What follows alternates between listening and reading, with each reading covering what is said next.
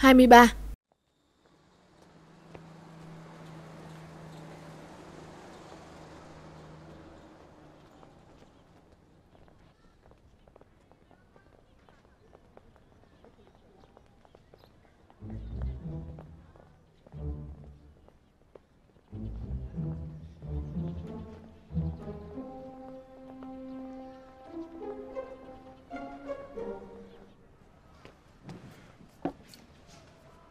Vi Mau làm việc đi. Tí nữa là khách tới đấy. Tới thì tới. Em cũng đâu có phải đầu bếp đâu. Em mặc kệ. Chị đi nấu cơm đi. Vậy chị là đầu bếp sao? Chị tan ca rồi còn phải đi làm giùm cho Cao Đại Hà. Mấy đứa cũng đâu có trả lương cho chị. Sao em phải trả lương cho chị chứ. Có phải em gọi chị tới đâu? Tự chị muốn chạy đến đây đấy chứ. Mẹ ơi. Đoàn trưởng tới Đoàn trưởng Đoàn trưởng hình. Đoàn trưởng hình. Cao Đại Hà đâu rồi? Không có ở đây ạ. À? Cao Đại Hà ra chợ, tí nữa là về. Bao giờ cô ấy về thì bảo cô ấy, Tối nay đoàn văn nghệ chúng tôi Đi diễn cho hội công thương. Người ta mời ăn cơm. Chúng tôi không về đây ăn đâu. Vậy thì tốt quá. Vậy tôi đi nhé. Đoàn trưởng hình đi thông thả. Đi nhé. Khoan đã, Chị đi đâu đấy? Kệ chị Chị muốn làm gì thì làm, Không phải nấu cơm nữa. Cho em ít tiền đi, Biến đi. Khi nãy em chưa nấu cơm Là đúng quá rồi còn gì.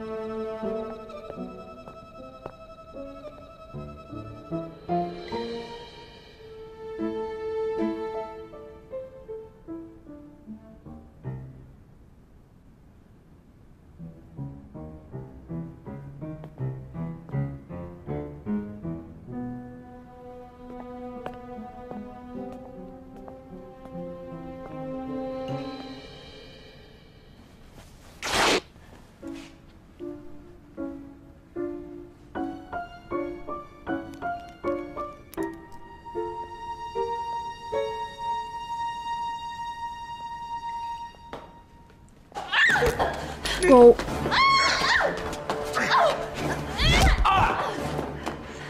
Áo sơ mi Anh phá hoại. Cao Đại Hà Có người phá hoại. Đừng chạy, đừng hét, Cao Đại.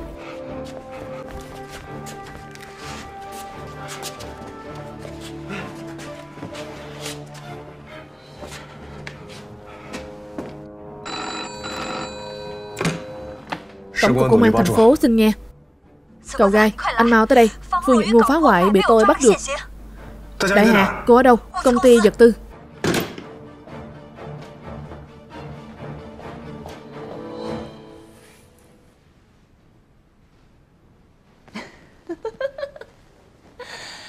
Trăm tính dạng tính cũng không ngờ Cao Đại Hà tôi xuất hiện ở nhà kho đúng không? Đúng thế. Tôi thật sự không ngờ. Là trưởng ban bảo vệ Đúng là tôi đã làm ăn không tới nơi tới chốn. Mắc lỗi nghiêm trọng. Tôi nói cho anh biết, Anh là chuột, Thì tôi là mèo. Anh là tôn ngộ không, Thì tôi là như lai, Phật tổ. Anh muốn thoát khỏi lòng bàn tay của Cao Đại Hà này, Thì đúng là nằm mơ giữa ban ngày. Cao Đại Hà. Đúng là tôi đã bị cô làm cho nằm mơ giữa ban ngày. Cô bảo, cô giỏi thật đấy. Cô không chỉ vào công ty vật tư của chúng tôi, Còn tự ý xông vào Nhà kho vật tư quân dụng. Tôi không vào nhà kho Mà lại bắt được anh phá hoại sao? Nói. Nửa đêm nửa hôm, Anh lén la lén lút Ở nhà kho làm gì? Tôi có thể làm gì? Tôi là trưởng ban bảo vệ, Kiểm tra nhà kho, Là công việc của tôi. Đúng đúng, Là trưởng ban phương kiểm tra như bình thường thôi. Phó Gia Trang, Các anh nhìn xem, Anh ta giờ chính là Thứ thịt bì dày, Là lợn chết không sợ nước sôi. Các anh nên thẩm vấn anh ta, Thẩm vấn kỹ vào.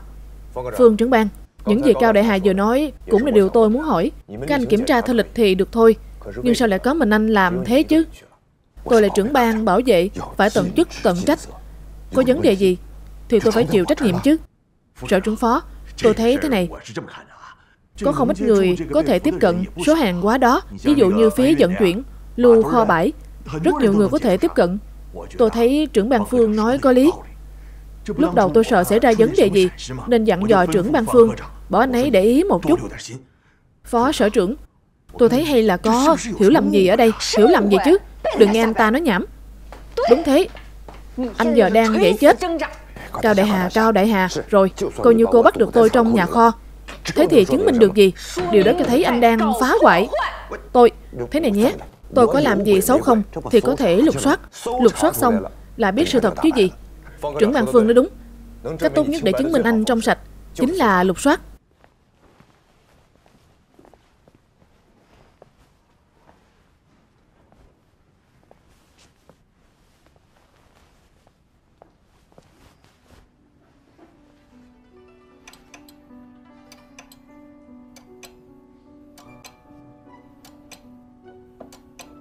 Sở trưởng phó Muộn vậy rồi Chắc mọi người vẫn chưa ăn cơm. Giám đốc Tôn Chúng ta có gì ăn không?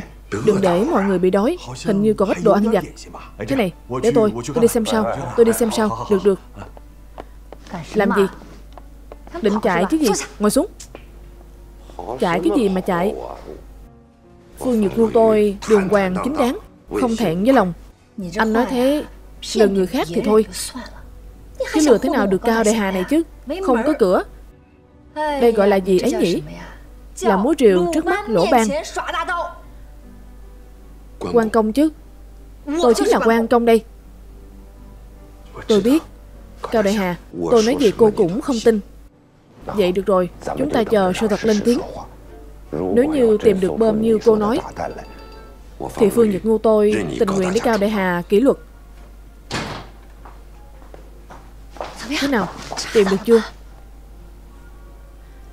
Sao lại không có được chứ? Có gì lạ không? Không có. Sở trưởng phó Vậy tôi đi lấy chút đồ ăn cho mọi người nhé. Ngồi xuống. Anh ngồi xuống cho tôi. Mấy người trong anh ta giúp tôi. Tự tôi đi lục soát. Tôi không tin là không tìm được. Chị Em còn lừa chị sao? Bọn em kiểm tra kỹ rồi Thật sự không có gì. Sao lại thế được chứ? Không thể nào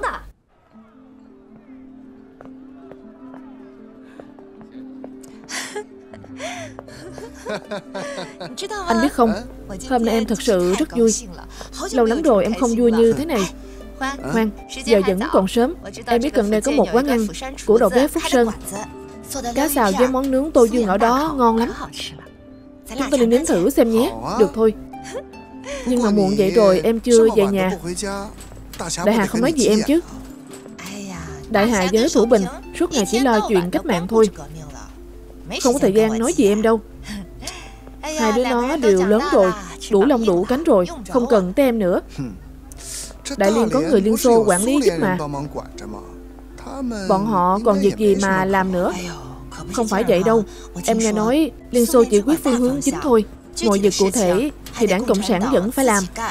Phó Gia Trang với Cao Thủ Bình Bận tối mặt tối mũi suốt ngày. Cả Đại Hà nữa. Em còn tưởng lần này nó phải chịu ấm ức rồi Thì nó sẽ bớt bớt đi Cuối cùng Giờ nó còn bận hơn xưa Suốt ngày cũng chẳng thấy mặt đâu. Đúng thế Người làm chị dâu như em Thật sự đã hy sinh quá nhiều vì cái nhà đó. Mang lệ. Em biết tại sao anh thích em không? Chính vì em đảm đang Biết chăm sóc gia đình. Vẫn là anh hiểu em. Thực ra bao nhiêu năm nay Làm trâu làm ngựa cho nhà họ Cao Cũng coi như em đã làm tròn trách nhiệm Với Cao thủ thái đã qua đời. Cho nên mới nói Bắt đầu từ bây giờ Chính là lúc em nên tìm kiếm hạnh phúc thuộc về riêng mình rồi.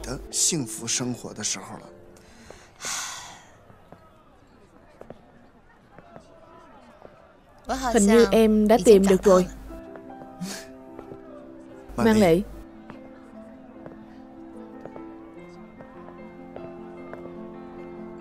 Em yên tâm đi Anh nhất định sẽ cho em Cuộc sống lãng mạn, hạnh phúc cả đời.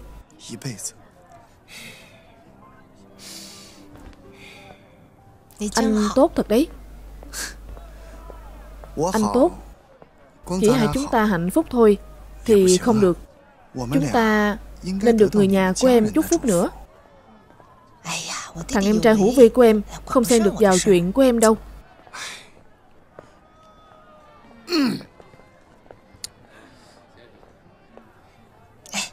Ngoài Hữu Vi thì còn có Cao Đại Hà và Cao Thủ Bình nữa.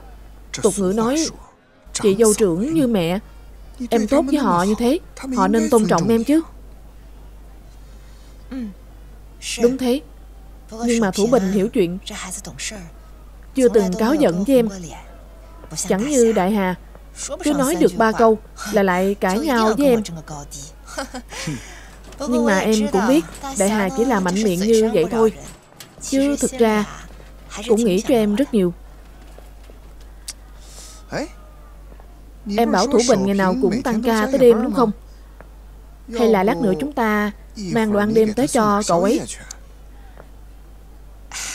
Nó lớn vậy rồi. Không đói được đâu. Anh không nói chuyện có đói hay là không? Chị dâu trưởng như mẹ. Đúng chứ Em phải quan tâm người ta một chút. Sau này biết đâu lại có chuyện cần Đúng không? Nó là cảnh sát thôi mà. Trừ khi sau này chúng ta làm chuyện xấu gì. Nhưng Hoang, Có phải anh làm chuyện xấu gì không? Anh Anh làm chuyện xấu gì chứ? Ý anh là, Em xem sau này chúng ta phải kết hôn chứ? Đến lúc kết hôn Thì chẳng phải Đến cục công an làm thủ tục Đăng ký kết hôn Ký tên đóng dấu các thứ.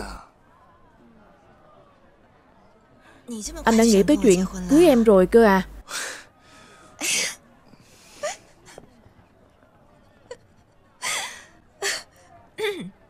Hoan Anh để em nghĩ đã nhé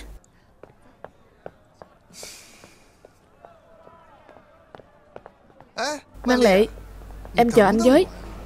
Em đi nhanh thế làm gì? Chắc chắn tên Phương Nhược Ngu đó đang giả vờ Hai người mau bắt hắn lại Thẩm vấn đi. Nếu không hắn không nói thật. đâu. Đại Hà Cảnh sát của đảng Cộng sản không phải là quan phủ Không thể tùy tiện Muốn bắt ai thì bắt. Chúng tôi làm việc phải dựa trên nhân chứng và vật chứng. Đúng thế. Đúng là tôi không nhìn thấy hắn Để bơm vào đó. Nhưng tôi thấy hắn lén la lén lút anh nghĩ mà xem Nếu hắn không chột dạ Thì sao hắn lại lén la lén lúc chứ? Chị Đấy đều do chị tự nghĩ ra thôi. Không thể coi là chứng cứ được. Sao lại là tự chị nghĩ ra được chứ? Ngày xưa chị cũng từng nhét bơm vào kho của Nhật. Chị biết rõ cảm giác đó như thế nào. Được rồi Em vào đi. Anh ở đây chờ em. Thực ra Em vẫn luôn giấu anh. Thực ra em cũng Em yêu. Nếu khó xử thì không cần nói. Anh biết em có nỗi khổ riêng. Chờ khi nào nói được thì hãy nói. Anh chỉ cần biết. Em chỉ yêu mình anh là đủ rồi. Anh thấu tình đạt lý quá. Sao anh lại tốt với em thế chứ? Vì trên thế giới này, Chỉ có một mình em Là anh phải cố gắng hết sức Để yêu thương thôi. Thật sao? Vậy em vào nha. Đi đi. Anh chờ em nhé.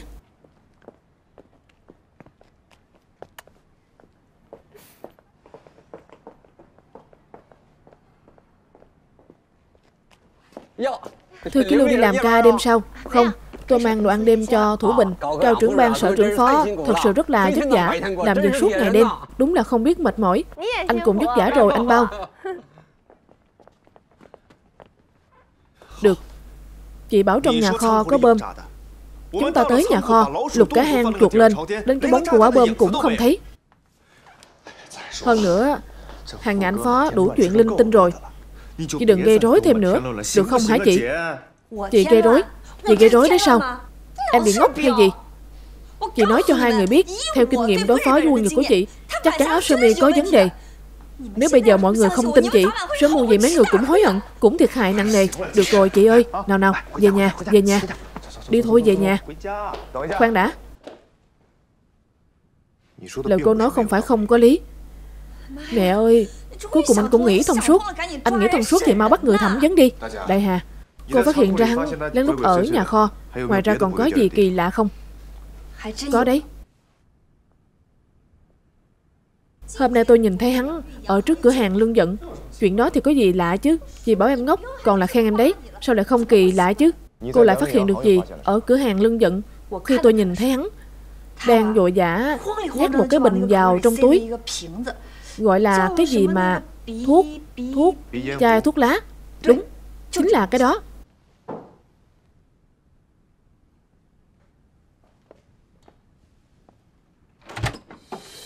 Ôi mẹ ơi Chị dâu Em làm chị hết cả hồn. Ngớ ngàng ngớ ngẩn. Tránh ra.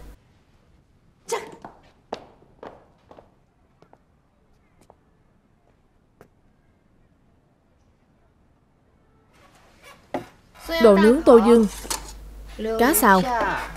Ăn đi cho nóng. Cả cái này nữa. Bánh dẻo nhân ốc biển. Chị dâu Lần sau không cần mất công vậy đâu Chị thấy Sau này nhà chúng ta Dọn đến tổng cục công an luôn đi cho xong. Được đó Được cái gì mà được. Em không làm quán ăn nữa sao? Vũ Vi sắp làm sập tiệm rồi kìa. Dạo này em bận nhiều việc. Trước khi đi em đã sắp xếp cả rồi mà. Hơn nữa Ở đó Có những món Nấu đại khái thôi là được rồi. Được cái gì mà được? Em tưởng đấy là nhà mình nấu cơm Nhà mình ăn sao? Nấu đại khái là được. Đấy là quán ăn đấy Khách bên ngoài giờ chẳng còn ai. Người của đoàn văn nghệ cũng chẳng tới mấy nữa. Đại Hà Đúng rồi cô nên tập trung vào nhà ăn của đoàn văn nghệ đi. Những chuyện khác Cứ để tôi và Thủ Bình lo. Nó còn có việc gì khác chứ? Từ sáng tới tối Chỉ biết gây chuyện với anh Phương. Chị dâu Chị về trước đi. Bọn em có chuyện quan trọng cần bàn. Chị về trước đi. Chị cũng là người của Tổng cục Công an. Chị còn chưa nói chuyện quan trọng đâu Thư ký lưu Thật sự chúng tôi có chuyện quan trọng cần nghiên cứu. Thủ Bình Gọi xe cho Thư ký lưu Đưa chị ấy về. Tôi biết rồi. Không cần đâu. Tôi đi xe điện là được rồi. Mấy người làm việc đi. Cứ ngớ nga ngớ ngẩn. Ăn đi cho nóng. Đi tiễn đi. Chị dâu Em tiễn chị. Không cần thật mà. Thủ Bình Em mau về đi. Anh Phó đang chờ em nghiên cứu công việc mà. Không sao đâu chị. Em gọi xe cho chị Không không cần Thủ Bình. Chị tự gọi được rồi. Em mau về đi. Thế chị đi đường chú ý an toàn nhé. Được em yên tâm đi. Đi đi em về đi. Em nhìn chị đi. Chị nhìn em đi. Chị đi trước đi. Chú ý an toàn nhé. Được. Đi đường cẩn thận. Quay vào đi. Em quay vào nhé.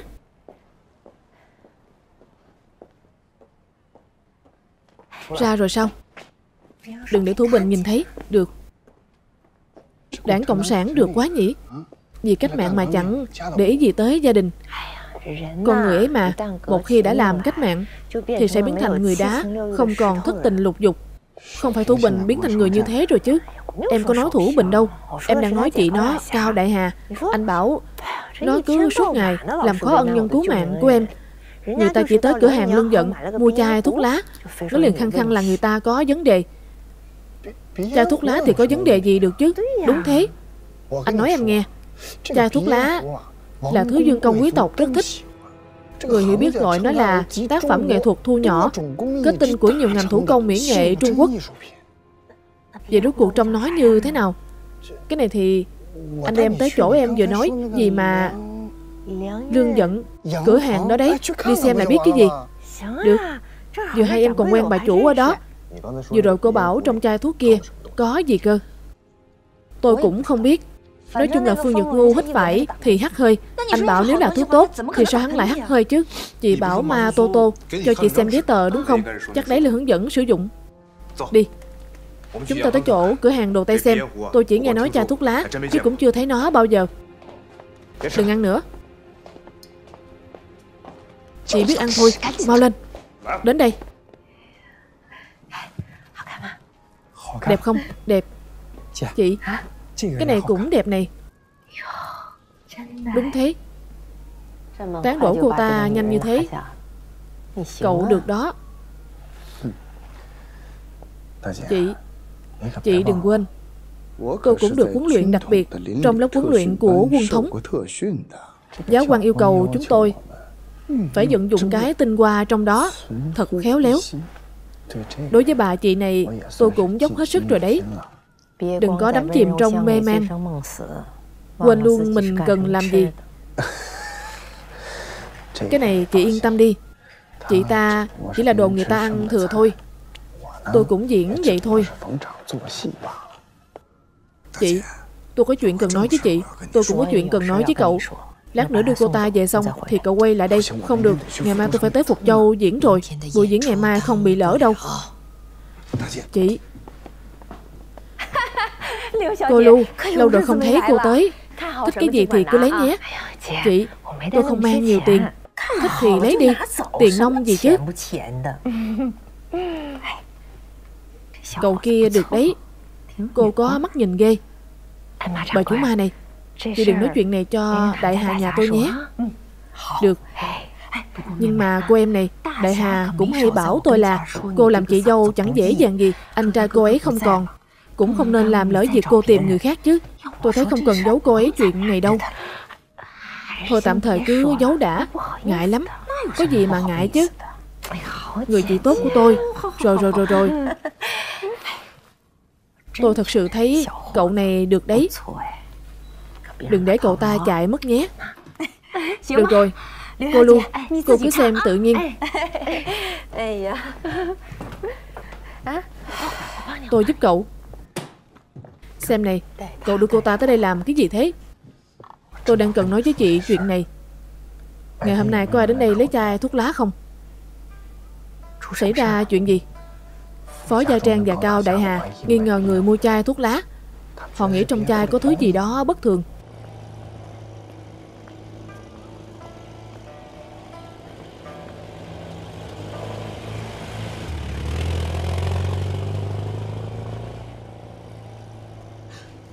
Cao Đại Hà tới rồi? Mau mau mau Mang lễ. Cao Đại Hà tới rồi? Sao nói lại tới đây chứ? Cô xem Cô bảo sao sợ cái gì Thì cái đó tới thế. Đi đi mau. Vào trong Vào trong nhà. Mau vào đi Vào mau đi. Mau vào đi Mau.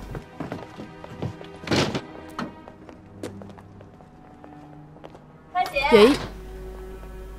Chị Đại Hà đấy à Cơn gió nào đưa cô tới đây thế? Xem ra cơn gió này không nhỏ Không chỉ đưa cô tới đây mà còn đưa cả cậu phó tới. Cửa hàng nhỏ của tôi hôm nay có phúc quá Cậu đây là Chị Đây là em trai tôi Cao Thủ Bình. Nó làm ở Tổng cục Công an. Giỏi thế cơ à? Nhìn cậu ấy mắt to mày rậm Có tinh thần quá Cũng rất có khí chất. Giống y như cậu phó Nhìn là người biết làm chuyện lớn. Chị quá khen rồi. Cái cậu này lại còn ngại nữa sao? Tôi thân với chị cậu lắm nhé. Sau này có việc gì cứ đến tìm tôi Nhất định đừng khách khí với tôi đấy nhé. Tôi từng tuổi này mà cậu gọi là chị Thì cậu hơi thiệt rồi. Bà chị này lớn tuổi quá Nó phải gọi theo em chứ Phải rồi chị ơi Bọn em đến đây có chuyện nghiêm túc cần làm Đúng đúng. Mọi người xem Cái miệng của tôi cứ luyên tha luyên thuyên Không dừng được. Muộn thế này rồi. Mọi người còn tới cửa hàng của tôi. Rốt cuộc là xảy ra chuyện lớn gì rồi Chị? Chúng tôi đến là để xác nhận một chuyện. Chuyện gì thế? Đáng sợ vậy? Chuyện nhỏ mà thôi. Không sao Đừng sợ. Chuyện nhỏ mà làm hoành tráng thế này sao Cậu phó Tôi là người tốt An phần thủ thường buôn bán mà thôi。Đại Hà Nhất định cô phải giúp chị đấy。Chị Chỉ cần chị nói thật。Em nhất định sẽ làm chứng cho chị。Xem cô nói gì kìa Chỉ cần tôi biết Thì tôi nhất định sẽ nói hết。Vậy thì cảm ơn chị nhé。Đừng khách khí。Chị Hôm nay Phương Nhật Ngu đến chỗ chị Mua chai thuốc lá Chị còn nhớ không？Chưa quên Cô và anh ta còn cãi nhau mãi Đúng đấy chị. Chị còn ép anh ta hút thuốc. Người xấu như anh ta Phải để chị xử lý. Cậu cũng thấy hắn là người xấu, Đúng không? Đương nhiên là tôi biết anh ta Không được nói xấu khách. Chị Chị cứ để cậu ấy nói. Tinh tế. Cậu cứ từ từ nói. Anh ta tệ mà. Cứ đến là lề mà, lề mề, Không muốn đi. Suốt ngày có ý đồ xấu với chị tôi. Chị tôi vốn không thèm để mắt tới anh ta. Cậu tránh qua một bên cho tôi. Đúng là ngày chết đi được. Chuyện này mà cũng nói ra. Cậu bảo tôi mở cái tiệm nhỏ này Cũng có dễ dàng gì. Khách nào cũng có. Người như anh Phương Đã được coi là lịch sự rồi đấy. Có những người, Ôi, không nói nữa, Không nói nữa. Tôi từng tuổi này rồi Mà còn gặp chuyện như thế. Đúng là chẳng biết giấu mặt vào đâu. Chị, Chúng ta nói chuyện cho thuốc lá đi. Phải phải. Cậu xem, tôi lạc đề mất rồi. Đúng là anh Phương đã mua một chai thuốc lá ở chỗ tôi. Chai thuốc lá đó của tôi là nhập từ nước ngoài Nhập mấy cái liền. Đại Hà cũng xem hướng dẫn sử dụng rồi. Tôi nói đúng chứ. Đúng là có mấy cái. Có thể cho chúng tôi xem một cái được không? Có hướng dẫn sử dụng không? Lại còn phải xem hướng dẫn sử dụng nữa sao? Anh còn từng đi du học Liên Xô rồi mà. Chị xem Chị làm thế này đúng không Đúng đúng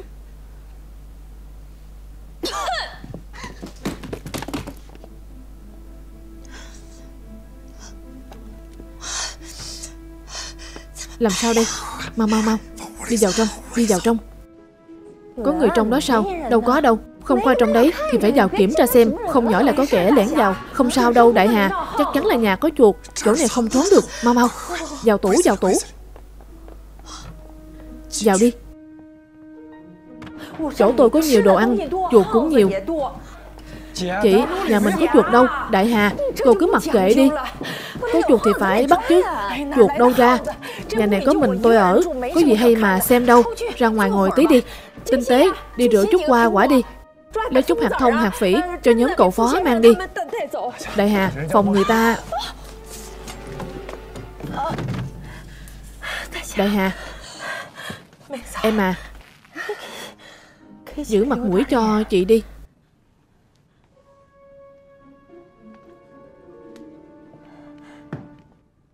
Xin lỗi nhé. Hôm nay chị mất mặt muốn chết luôn rồi. Chị thật sự rất xin lỗi chị. Vừa rồi tôi bị giật mình Xấu hổ chết đi được. Chị xem Lỗi tại tôi cả. Tôi cứ làm đùng đùng cả lên. Đại Hà Nhất định đừng có nói chuyện này ra ngoài nhé. Coi như tôi xin cô. Nhưng Trên nhiều tuổi thế Sao chị làm được vậy? Đại Hà Chị xin cô đừng nói nữa. Bây giờ nếu trên mặt đất có cái lỗ nẻ nào Là tôi chui vào ngay đấy. Đừng đừng. Không tới nỗi thế đâu chị. Thế tôi, tôi đi trước nhé. Chị lo cho người đó nha. Anh nói xem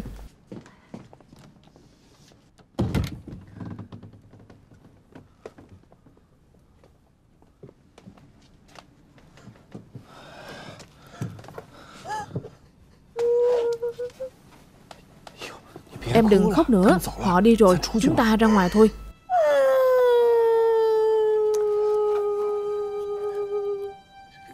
Cao Đại Hà không nhìn thấy em. Anh che rồi. Đừng khóc nữa. Đi thôi. Không sao rồi. Hai người Làm cái trò gì thế hả? Vì hai người mà tôi Đổ vô lên đầu mình rồi đây này. Cô Lưu Chuyện này nhất định không được nói với Đại Hà đâu. Cô ấy sẽ trách tôi lắm. Cô nói xem, Tôi làm thành cái trò gì rồi thế này?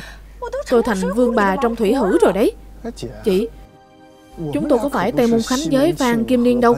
Chúng tôi thật lòng yêu nhau mà. Cậu dẹp đi. Yêu nhau thật lòng mà còn chui vào trong tủ sao? Vì hai người Mà sự trong sạch của tôi Đã bị quỷ hoại hết cả rồi. Chị? Lát nữa quay lại đây đấy.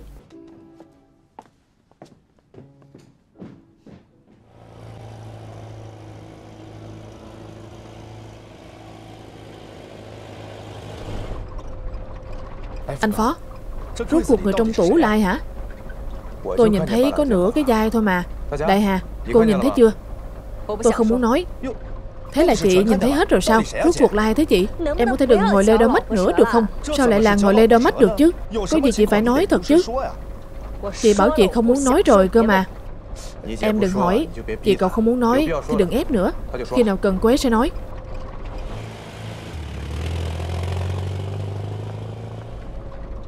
Tôi chỉ thấy lạ thôi. Anh bảo mà Tô Tô từng tuổi đó rồi Mà còn cặp với trai trẻ Thế tôi kém ở đâu? Sao tôi mà chẳng có đối tượng thế chứ? Trong đấy là một chàng trai sao? Nói nhảm Chứ là nữ mà phải chui vào trong tủ sao? Vũ Bình Em thấy chị gái của em thế nào hả? Chị kém người ta ở đâu? Con người chị khá ổn. Mỗi tội dễ cáo. Chị xem chị xem. Chị thế này ai mà thèm?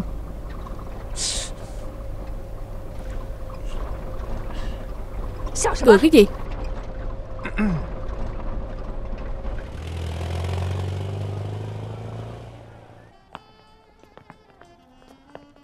Xin lỗi nhé mang lệ. Vừa rồi Anh không bảo vệ tốt cho em Làm em hoảng sợ. Đừng khóc nữa. Nào Lao đi. Em không trách anh. Em khóc vì em thôi. Tại sao chứ? Em luôn nghĩ Luôn mang lệ em không sợ trời không sợ đất Càng không sợ cao đại hà. Nhưng khi nãy ở cửa hàng nghe thấy tiếng của nó Em thật sự chột dạ. Han Em. Cảm giác chúng ta yêu nhau Không được ổn cho lắm. Sao lại không ổn chứ? Chúng ta ở bên nhau tốt đẹp như thế. Em xem, ngày ngày cười nói, vui vẻ biết bao. Em nghĩ quá nhiều rồi. Vậy Phan Kim Liên và Tây Môn Khánh yêu nhau. Cũng vui vẻ lắm mà. Nhưng mà Phan Kim Liên kia Tốt xấu gì cũng còn có một vỏ Đại Lan Em thì sao? Em ở quá suốt bao năm quan ức biết bao Em đừng có nghe bà già chết tiệt đó nói linh tinh. Anh nói cho em biết Cái loại như bà ta Miệng dao găm Bụng cũng dao găm luôn. Bà ta bà ta quá buồn nôn Anh đừng nói người ta như thế. Vừa rồi nếu không nhờ có người ta Thì chúng ta lộ luôn rồi. Vậy thì em thật sự không thể ngẩng đầu lên Trước mặt Cao Đại Hà được. đâu. Cả đời này luôn đấy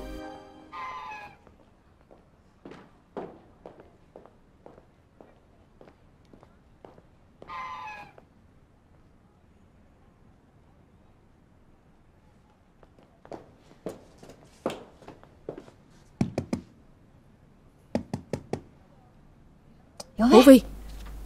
Vũ Vi. Sao đấy chị?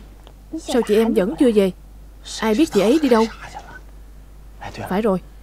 Chị có phát hiện ra Dạo này chị em cứ lén la lén lút hay không vậy? Em bảo Có phải chị ấy đi tìm trai rồi phải không? Mẹ ơi Chị ấy và Phó Gia Trang yêu nhau rồi sao? Chị em được đó. Cao tay ghê Vừa rồi Phó Gia Trang đi cùng với chị. Mẹ ơi, hai người yêu nhau sao? Chị yêu em thì có ấy. Nói năng lương thuyên Là sao? Lúc nào chúng ta chẳng yêu quý nhau. Dương Hoang Thực ra Em không hồ đồ. Nhưng đó giờ em chưa nghĩ ra được.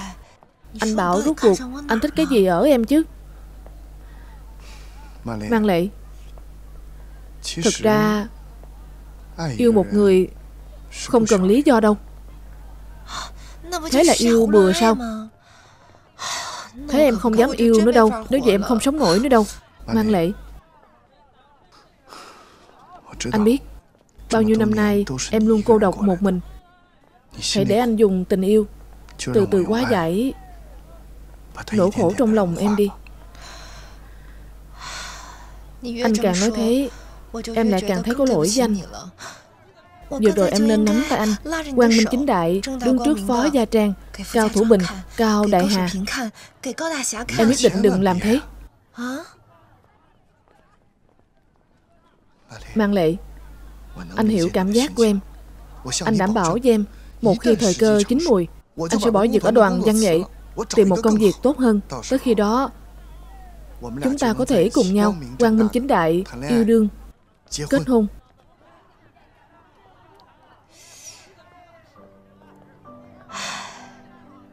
Nếu có một ngày như thế thật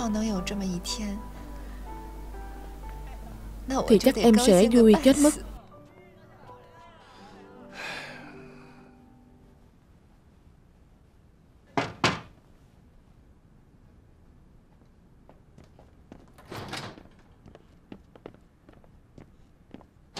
Muộn vậy rồi anh còn tới đây làm gì? Có chuyện gì mai rồi nói. Sang một bên. Dám to tiếng giới tôi sao Tinh tế.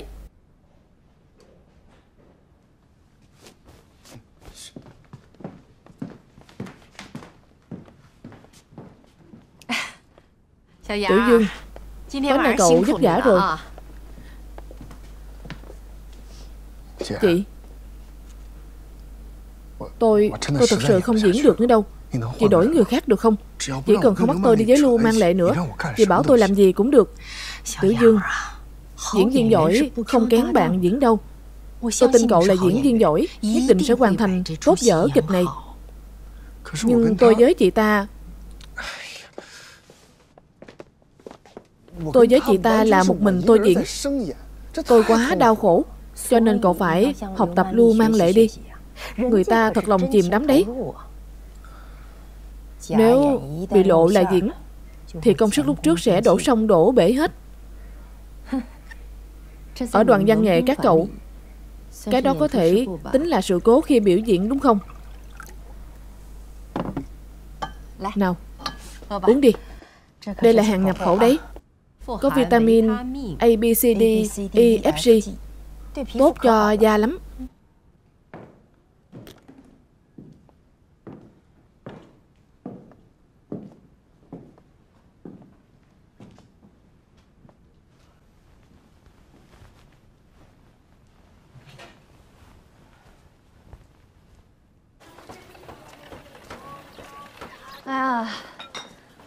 Phó Gia Trang Thủ Bình cũng không qua ăn đâu, Chỉ có ba chúng ta thôi. Chị em đâu? Em không đợi răng cùng sao. Chị ấy bảo không ăn. Sao cơ Cơm cũng không ăn sao? Ai biết? Suốt ngày liên thiên gì ấy? Để chị đi xem sao. Phải rồi. Em ăn xong, Mau đến nhà ăn xem sao đi. Em nhắc lão giả, Nấu ít thôi.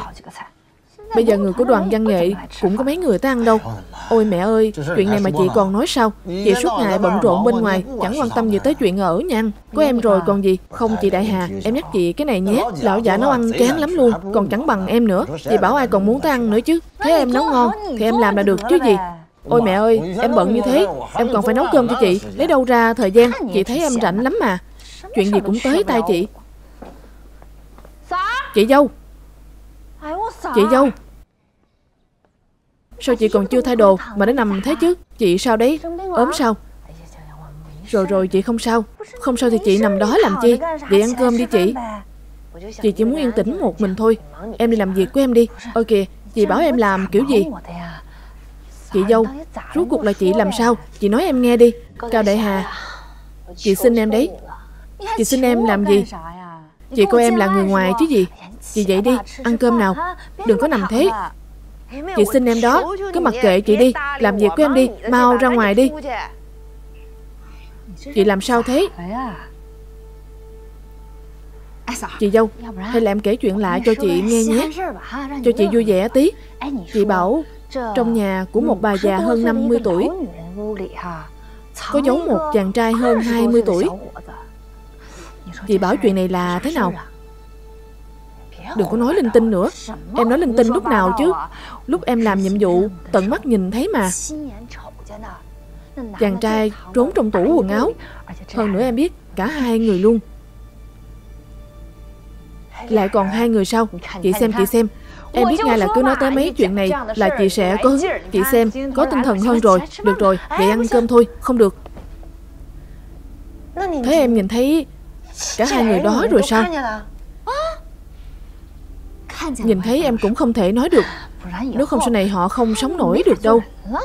Thế em không nói thì họ sống được sao? Thế em không nói thì ai mà biết? Hai người họ tự nói ra chắc. Nói thì nói thôi. Một quả phụ, một chàng trai Một người muốn lấy, một người muốn gả. Sợ gì? Không sợ, không mất mặt. Chị dâu. Được đó. Chuyện này mà chị nghĩ thoáng ghê. Hai người này Một người hơn 50 tuổi Một người 27, 28 tuổi Bà đó đáng tuổi mẹ cậu kia luôn đấy. Giỏi ghê. Thế em đang nói hai người đó đó hả? Thế chị tưởng lại Được rồi Em xem em kìa. Chẳng ra dáng người làm cách mạng gì cả. Nhà này thế nọ, nhà kia thế kia. Suốt ngày ngồi lê đơ mắt chuyện vô vị Chẳng biết xấu hổ gì cả. Em ngồi lê đôi mắt vô vị lúc nào chứ? Em chỉ muốn dỗ cho chị vui mà thôi. Thế là cũng sai sao hả? Chị không cần Không cần em dỗ chị vui. Chị chỉ là Từ sáng tới tối Vừa đi làm vừa nấu cơm. Chị mà sống mà chết Nghỉ ngơi tí còn không được sao? Xem em suốt ngày lãi nhãi kìa. Chị nghe nhiều, Phiền lắm luôn đấy. Rồi rồi, Lỗi của em. Em đi. Phải rồi chị dâu.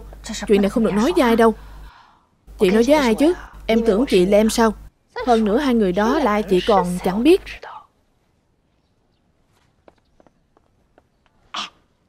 Chị muốn biết lắm, đúng không? Không muốn. Còn lâu em mới tin. Tin hay không thì tùy. Không muốn thì không muốn. Chị đói rồi. Hôm nay em nấu món gì thế? Chị không ăn mà. Giờ chị muốn ăn rồi. Phụ nữ hay thay đổi? Chính là nói chị đấy. Em nói cho chị biết. Đúng là Mau dậy đi.